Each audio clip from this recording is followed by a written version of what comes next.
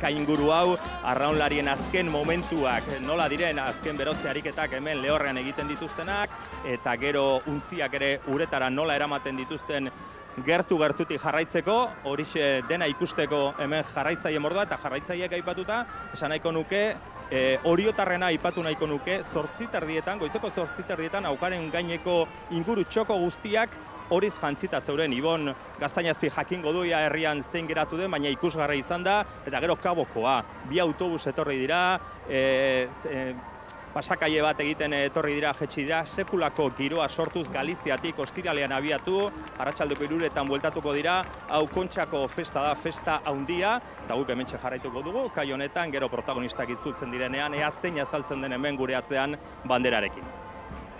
Ederki ba, Xavier, hor dira Galiziatik etorritakoak, e, bi autobuska da, eta hori gepatu dugu, eta emai guzu ba, albiste hori, gaur bai, gertatutakoa. Ez, celebra, Miguel, mesa ere, aurreratu egiten dela, normalean mesa nagusia, amabitan izaten da, eta augustotik aurrera uste dut, baina kontxako bi estropadetan, amaikak eta laurdenean izaten da, eta paizak badakit, mesa moztu ere egiten duela. Nola uste duzula, zerretuko zaizu horriko paisa, eh? Ez, ez, ez, guztura entzungo ditu kontu hauek. Eta bukatzeko esan nahi nuke, e, bajurako flota guztia ere barruan dela, ebaluxeak gutxi, eta barruan dira kontxako estropada ikusteko aukera izango dute bintzat. Edezken biak, 2008 eta 2008an, Rias Baixas eh, elkartearen izenean aurten, Galiziako ordezkaritzari gabe denak ipuzkoarrak hemen eh, emakumeen eh, banderaren bila. Errentzela ongi ulertzeko ez da, Ibon? Bai, bai, hau lorpen harrigarria da, eh, pentsa, zema da arrolari giratzen den, kontxa jokatu ere egin gabe, eta gaur, San Juan darek lortu dutena.